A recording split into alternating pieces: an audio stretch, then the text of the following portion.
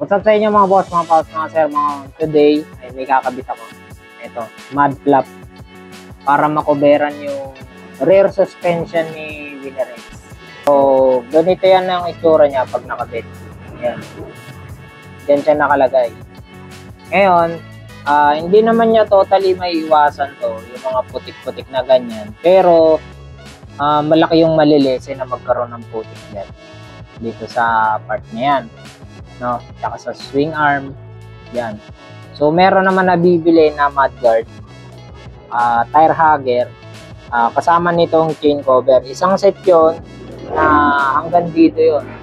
Yung tire hugger na yon malaki yon. Kaya lang, ang nagiging problema kapag ka meron kang angkas, yung tire hugger, tumatama dito sa ilalim ng tangke o yung yung kaha doon, sumasayad daw pag merong angkas. Okay siya pagka solo ka lang, pero pag meron ka ng angkas, sumasayad siya.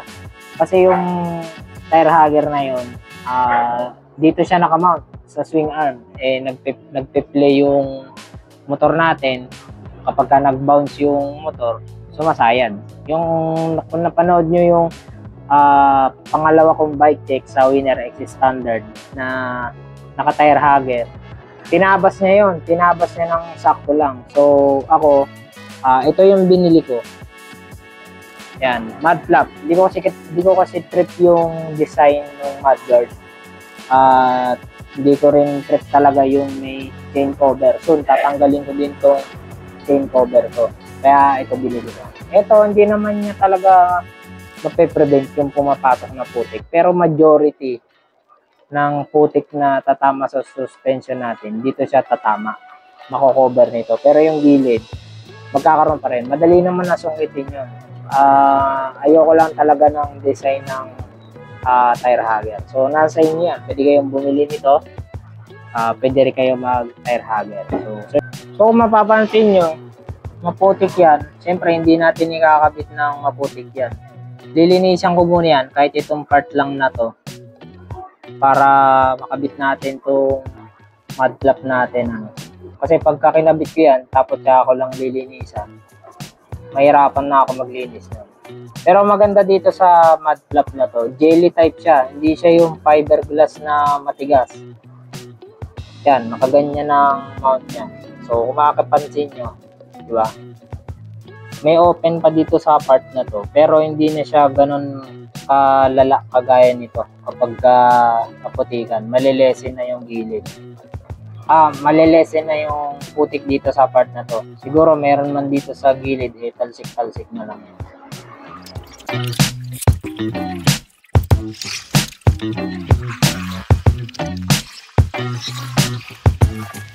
So,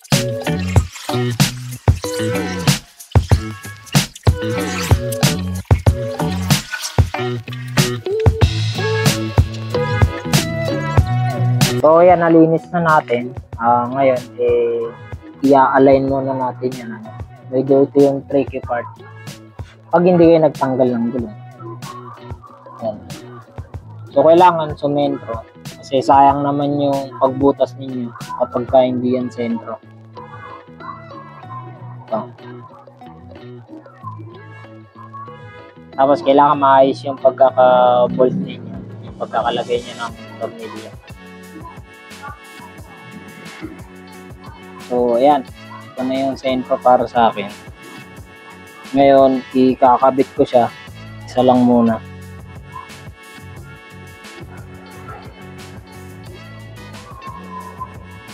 Oh, gumalaw. So, ito mga boss, at tinanggal ko na yung ano natin, chain guard. Isa lang yung nabutas ko. Ngayon, tuturo ko sa inyo kung paano ko siya nabutasan. Pero itong part na to sa kabila, medyo mahirap siyang butasan dito sa kabila. Ngayon gagawin ko, tatanggalin ko na tong gulong para makagalaw tayo ng maayos. Pero kung kaya nyo ikabit nang hindi tinatanggal yung gulong, mas maganda. Basta i-sentro nyo lang na maayos. Ngayon ako, magtatanggal ako ng gulong para makagalaw ako ng maayos. Medyo nahihirapan ako. Tapos yung pagbutas niya, hindi madali. Explain ko sa inyo mamaya kung bakit. Sa natanggal na natin yung gulong, So, nabutasan ko na nga ito. Ngayon. Kaso lang, ah, itong side lang na to, yung nabutasan ko, dito sa bilang side, hirap na hirap ako magbutas kasi ang daming sasayaran. So, mahirap din ipasok yung tornilyo. Tsaka, tuturo ko sa inyo mamaya kung paano ko nabutasan to. Hindi ko kasi nabutas to ng tornilyo lang ang gamit. Ayan. So, yung design kasi ng ah, mga inner fairings ni Winner X, ah magaspang siya na madulas. So, kahit matulis yung tornilyo natin, makita nyo naman, ito, kita ba? yan, makita nyo, matulis na yan. Pasensya na sa kamay ko. Dumudulas lang yan. Wa effect. Kaya kailangan, tuturo ko sa inyo mamaya kung paano gagawin para mabutas natin ang uh, di tayo nahihirapan at may pasok natin tong tornilyo. So ngayon, isisentro ko muna which is ito na naman yung tricky part. Although naalis na natin yung gulong, eh, tricky part pa rin kasi isisentro natin to ng maayos yung hindi sobrang ta yung hindi sobrang taas at hindi rin sobrang baba. Ayusin natin. And kung mapapansin nyo pa ito yan. Ah, meron siyang ulma sa suspension ano dito ngayon ito kasi pag kinabit natin to dyan ito meron siyang siwang dito sa ibabaw so if ever na malakas ang ulan medyo matuloy ng takbo, yung putik na dadaan dito, lulusot lang din eh. Kaya ang gagawin ko, medyo itataas ko to. Isisentro ko lang, tapos medyo mataas. Para itong gitna, ito, makapaglagay ako ng dalawa pang support na, uh, tatlong support na tornilyo dito para walang makalusot na tubig dito sa part na to. So, didinan ko ng todo. Tapos, kumuha ako ng pako. Ayan. Para ipangguhit din niya. Ayun, ako gaya niya. Dumudulas. Kasi sobrang dulas ng kaha niya eh.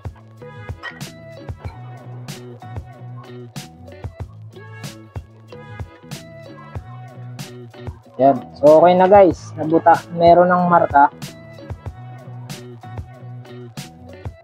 Ito na yung marka. Tapos ito yung isa. Ito isa. Ito nga yung una kong butas eh. Epic yan.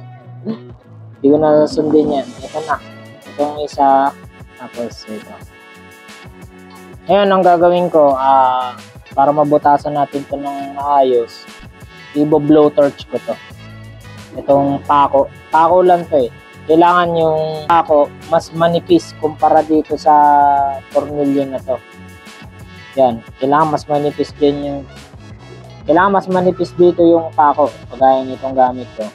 Yan. Blow torch lang natin yan para ibabaon natin. Kasi kung tornilyo lang ang gagamitin natin dyan, dudulas lang yan kahit anong pilit ang gawin nyo. Kaya ito, pwede kayong gumamit ng lighter, pwede kayong gumamit ng kahit ano sa tingin nyo, pwedeng magpainit dito sa tip nito para maibaon natin.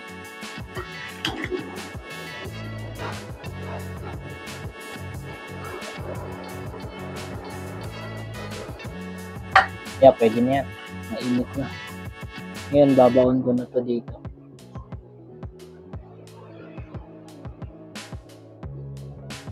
Yan, okay na. Kabaw na. Dito naman sa isa.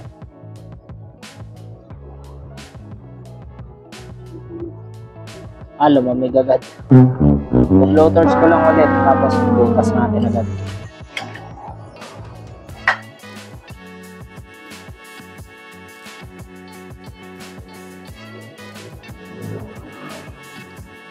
Yan, okay na.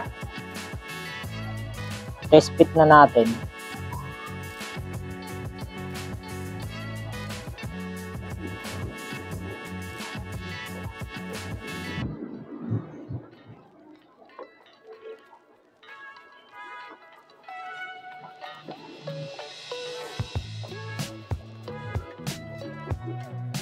Kita nyo guys, lumabas lang.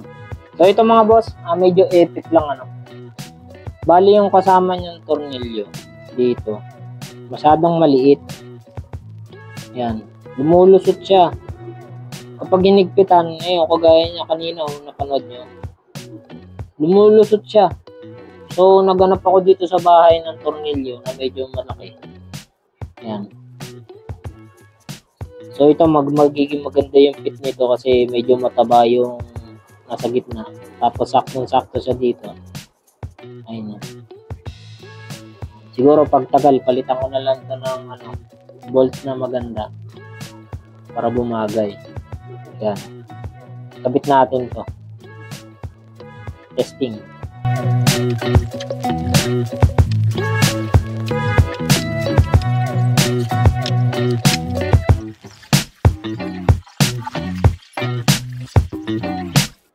guys, nakabit na.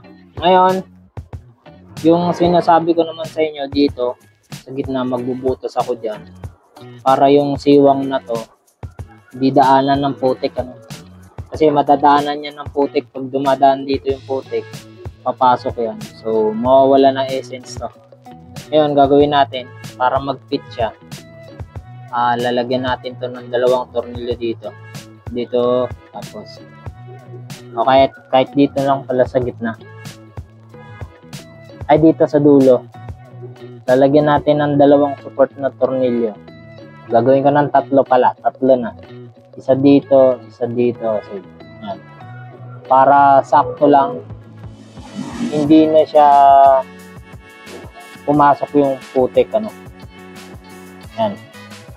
So, hindi ko nabibidyoan kung paano ko gagawin yung pagtutornilyo.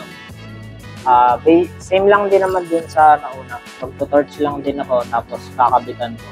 And then, ah pakita ko na lang sa inyo pag natapos na. No? Yan. So, yan mga boss, nakabit ko na. Ayan. oh. Ah, bali yung nakakapit din na tornilyo. Kita nyo naman sa kanyang clearance. Ayan. Marami pa yung motor, ah di ko pa nalilinis yan. Ano. Bali, ito pa lang yung nilinis ko kanina. So, itong ah mud flap na binili ko, yan. Sabi ko kanina, ah, jelly type siya. So, in case na may dumi pa rin na pumasok dito, malilinis pa rin ng maayos kasi ito, gumagalaw. Hindi siya matigas. So, ayan, sa mga gusto magkabit ng mud flap na ganito, mga ayaw ng tire hugger, eh, yan, sana ah, nagkaroon kayo ng idea, nagkaroon kayo ng idea kung anong itsura niyan sa mga motor ninyo. Pero, nasa inyo yan. Kung gusto nyo ikabit yung dalawang bolt lang, pwede naman yan. Ako kasi nagdagdag dito para mawala yung siwang din sa gitna. So, yun lang. So, yun mga boss, mga paps, mga sir, mga ma'am, at hanggang dito na lang tayo. So, siguro ito na yung pinaka mahirap na way sa pagkabit ng flap. Ano. Maraming way sa pagkabit ng flap. Pero ako, ah, first time ko lang nagkabit nito sa kay Winner X. Kaya medyo na-challenge ako. Ayan. May, may mga magagaling naman na nagkakabit dyan. May mga, may mga diskarte sila na alam nila. Ngayon, kung magdi-DIY ka, eh, idea lang to. Hindi naman to yung, kumbaga, ito yung pinakagagawin mo. Idea lang to. Pwede naman, ah, palusutin mo yung tornilyo, then ipantay mo. Ako kasi tinanggal ko yung gulong para maisentro ko ng maayos at makapaglatag ako ng tornilyo. Kagaya nito, na nagdagdag ako ng tatlong tornilyo pa para doon yung siwang sa gitna. Eh, masarahan. Kasi pag hindi yun masarahan, ah useless lang to. Mangyayari lang nito yung putik na ah, na dumadaloy dito sa ilalim ng upuan natin lumulusot lang din sa gitna, ending nun, sa shock lang din pupunta. So ito nga yung piniprevent natin na maputikan yung shock. So kung may magsasabi dyan na ah, useless lang din naman tong ganitong mud flap kasi tatalsik din naman sa gilid, eh, mas madaling abutin yung gilid kaysa dito sa gitna. So, yun naman yung para sa akin. Pwede naman kayo bumili ng tire hugger talaga. Yun, plug and play lang. Kakabit nyo lang yun. Yung aftermarket kasi na tire hugger na may kasamang mudguard, eh, isang set nito yan. Ah, pag bumili kayo nun, kasama na yun dito sa sa chain guard. Plug and play na yun. Kagaya nung na-check natin nung una. Pero ito sa akin, ito yung gusto ko. So, kanya-kanyang trip lang din naman yan.